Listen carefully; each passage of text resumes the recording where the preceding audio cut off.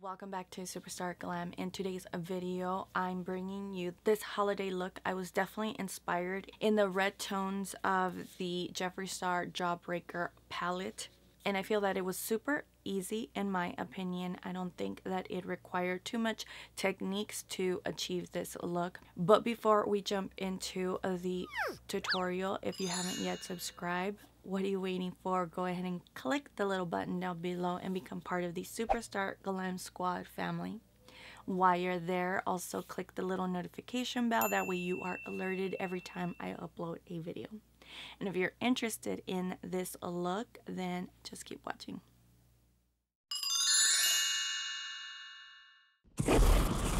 So as you can see, I've already done my face and I've primed my eyes so all we're to do is jump into the eye look.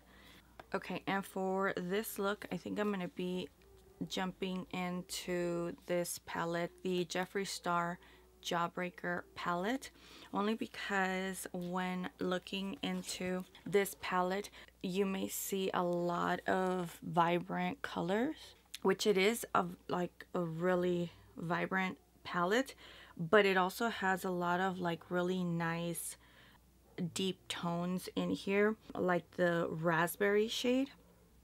So I think that's kind of the look I'm going for. Something more like monochromatic to match my my top. I tend to do that. I don't know if you've noticed uh, in most of my looks I tend to be inspired with either the top I'm wearing or the top I'm pl I plan to wear. And even if I I if I start off by use doing my eyes I tend to wear something that that matches my eyeshadow. I get that from my mom. To this day, my mom loves to coordinate her outfits to match her eyeshadow.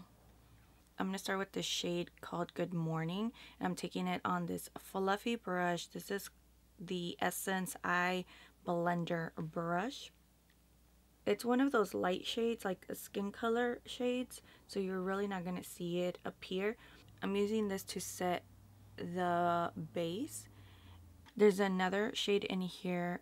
It's called Cone. It's really pretty, like a peachy color. It kind of reminds me of Peaches and Cream from Makeup Geek with this color, I'm just being really sloppy and just blowing it out on my eye because again, it's the color that's going to help blend all the other colors together.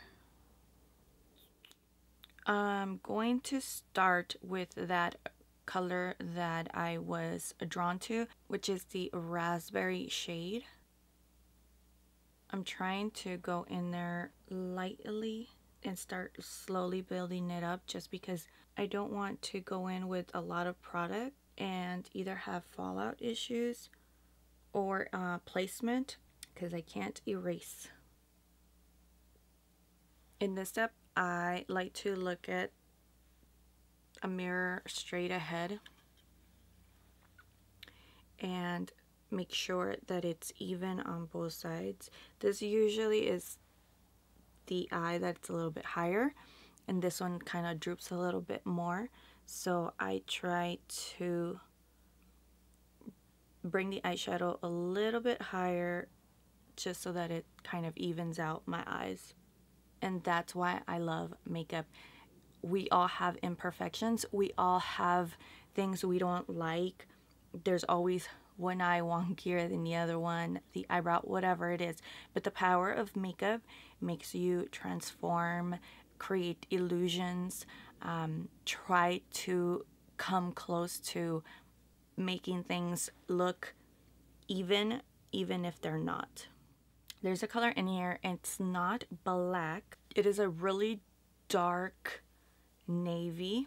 It's called Delicious and I think I'm going to use this to help deepen out the outer and I'm taking a Morphe M408 it's just a really uh, like a really small flat brush and I love that it just uh, blending those two colors it kind of instead of being like a dark color it brings in like this like deep purple I'm gonna go in with a smaller like little detail brush. This is the Carity E30. I'm gonna take this shade called Licorice. Now this is a really like bright red, like a true red color. This is a, such a really hard color to pull off just because um, it's usually a really like it's either not pigmented or it's uh, patchy so this is really the first time I'm trying it out and again I'm just bringing in more red tones because I want this to look more like a burgundy um, look than a plummy look that was starting to look to look like. And all I'm doing is I'm using it to go over it's kind of like the color that I'm using to melt that other that raspberry shade and the and the navy. I don't know if you could tell so it looks way more reddish like burgundy and then over here is starting to look a little more purple. So I love this. And it's working really really nicely with the other colors.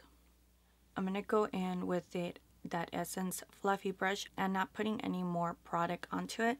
And all I'm doing is I just want to go over the edges to blend it out. Okay now I'm going back onto what do we say that color was called? Licorice. So I'm taking this brush. This is the BH Cosmetics V20 it's really really tiny little like blending brush. And I think I'm gonna take Tasty. I feel like it looks like a neutral brown. Not too warm and not too cool tone. I think it's like a perfect balance. And I'm gonna use this to kind of bring in some dimension just extending the crease area. It almost creates more like a shadow. And then there's two colors in here that I don't know which one to go with. This one's like really really yellow but it's really pretty. It's like a really um, shimmery yellow. That one is called lemon drop but there's a color in here called Jawbreaker, which is a really, really pretty, like it looks like it's white, but when you apply it, it has that gold shift to it, like that gold base. So I think that's what I'm going to use to uh, apply all over the lid, kind of like a cut crease, a half cut crease. I want it to its full intensity uh, color payoff, so I'm going to use Fix Plus. I'm going to go back to raspberry and I'm using the Carity E30 and I'm just going to use it here on the outer and I'm just going to slowly bring it inward just a little bit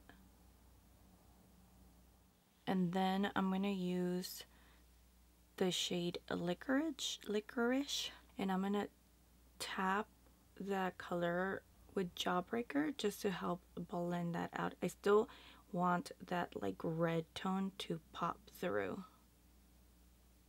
So I'm going to line my eyes. I'm going to use the Benefit Roller Liner. I'm just going to do like a really small like wing liner.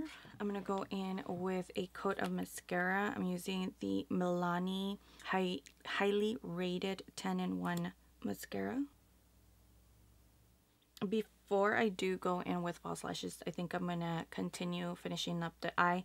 Uh, I'm going to go into the inner corner with the this um, MAC eyeshadow. It's the eyeshadow in Nylon. I feel that this was like kind of like a cult favorite when it came to the inner corner highlight. For the lower, I'm going to go back to Delicious, which is that navy color. And I'm going to pop it right on top of my lashes, like right in that little corner. I'm going to wipe down this brush and I'm going to go in with raspberry. And I'm just going to go over that navy color and start buffing it out. And then now with that same brush, I'm wiping it down again and I'm going to take licorice and I'm going to be careful and use this to kind of go to on the outer edge to help bring back like that red tone. But I still want to keep it in this area without it blending out too low. And I'm only keeping it like half of the eye outer corner. And then I'm wiping it down one last time and I'm gonna take that brown shade called Tasty and I'm gonna use this to bring into the inner but I'm also buffing it to meet the outer and help blend all that out. I'm going to go in with a really tiny little brush and I'm going to take the shade Jawbreaker. I just want to bring it in. It's kind of like connecting that like really inner corner and then blending it to that inner corner highlight. Okay, so I'm going to put on some false lashes and I'll be back to show you the finished look. So this is the completed look. I went ahead and just applied a nude lip. It's an oldie but a goodie that I used to be obsessed with. Um, I even have a backup of this color and it is the Dose of Color liquid lipstick in the shade Truffle. I think it's like the perfect little pinky nude lip. And then I line my lips with the NYX Suede matte lip liner in the shade Maison. That's pretty much it. I really hope that you enjoyed this holiday look that I created using the Jeffree Star Jawbreaker palette. Don't forget to give me a thumbs up, subscribe if you haven't done so already, and I will see you next time. Bye.